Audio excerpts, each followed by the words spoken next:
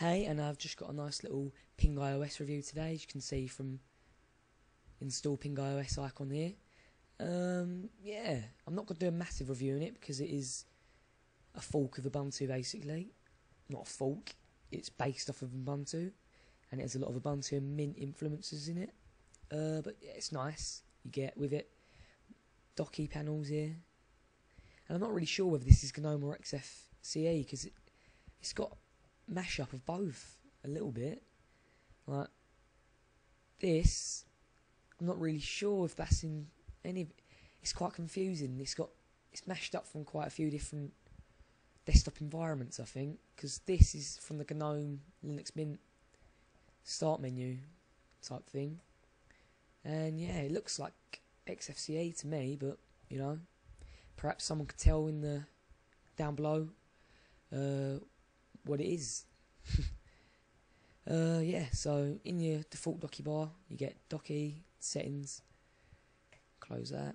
You get Firefox web browser, Thunderbird, Deluge, or Deluge, have you set BitTorrent client, Rhythmbox, VLC media player, terminal, and your wastebasket. After the separator, you get computer, guest, documents, music, pictures, videos, downloads, or whatever your username is actually in the guest. So I'm running it from a live CD because it's pretty snappy, because it's a nice quality DVD. You get up here your web builder desktop. Hmm. Not sure what that is. You get your system monitor up here. As you see me drag across the screen, it's blue.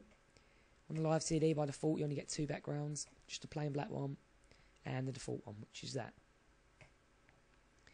Uh, yeah, the update manager. As you can see, it's Mint updates. It's more, I think it's got quite a lot in common with Mint as well. This is the Mint update uh, type thing, as it were. Um, yeah, looks a lot like Ubuntu there. Oh, no, that's fine. Um, yeah, got the little bits up there. A nice interface. I'm not going to go into compatibility, etc., because it's the same as Ubuntu, being based off Ubuntu. Can install whatever you would install on Ubuntu or Mint right into Pinguy OS because it's obviously based off of Ubuntu, so that's fine. Um, it's more of a looks and feel on the ethos of the operating system I'm going to be covering because this is basically an out of the box distro so you can get it out of the box and it's got everything if we go up here. Straight out of the box, it's got absolutely everything. See? If you can pause that to see what exactly what it has, but yeah. It's got most of the stuff you'd need, so yeah. Um, and it's a beginner distro for, uh, first and foremost as well. I'm not going to go into the installer because I had problems with the mouse rotating, etc. when I did that. And if you request it, I might go for an install in another video. I'm Not actually install it, walk you through it, and then cancel it at the last moment. But it's a nice little operating system. I'd recommend you to try it out if you you can. Uh, yeah, it's very solid.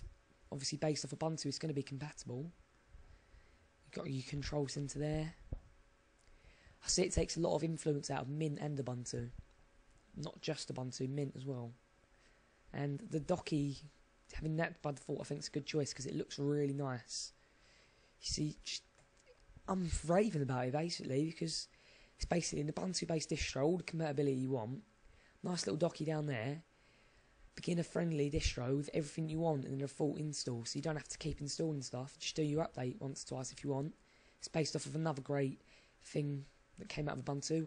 Didn't come out of Ubuntu, but Mint is based off of Ubuntu, so without, if you know what I mean. So Ubuntu came about, then Mint was based off Ubuntu, and Pinguy OS is based off of Mint and Ubuntu in some ways.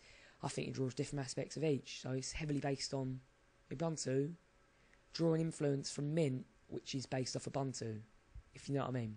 I'm just going to end it there because it's only meant to be a quick little look. Um, yeah, subscribe, thumbs this up, and I'll be back for more. See you later, guys. Bye.